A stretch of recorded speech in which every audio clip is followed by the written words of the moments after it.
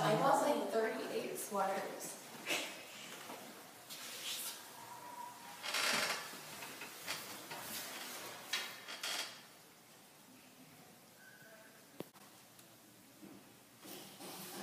Tracy, what did you do to your hair?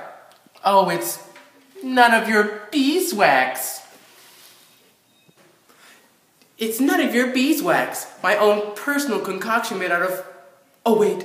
It's none of your beeswax. Beeswax? More like she's whack. I like it. What? Hair do? More like hair don't. How does she only have beeswax in that hair? I mean, like, it's huge. There must be something else living in it. When I was in school, we didn't have hair. Do you think I could pull that off? Like, isn't messy hair in now? Wait, that was on purpose? I quit my job for this. One time, I saw Tracy wearing camo pants and flip flops. And do you know what I did? I threw out my camel pants and flip flops. I love them. And I will have my vengeance.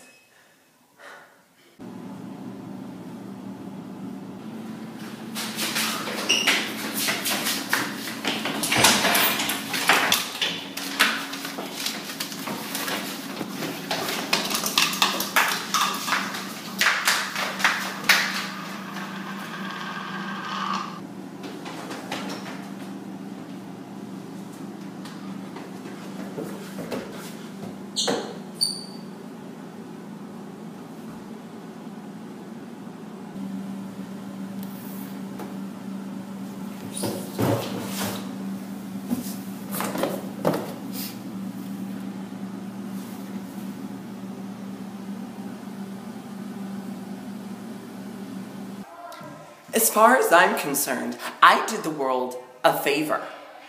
Lots of people told me they felt personally victimized by Tracy Turnblad's hair. I'm a good person. Don't judge.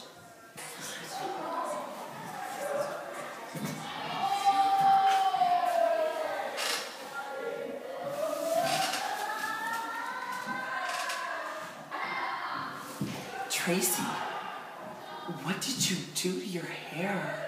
Oh, it's just this thing I invented. It's called hairspray.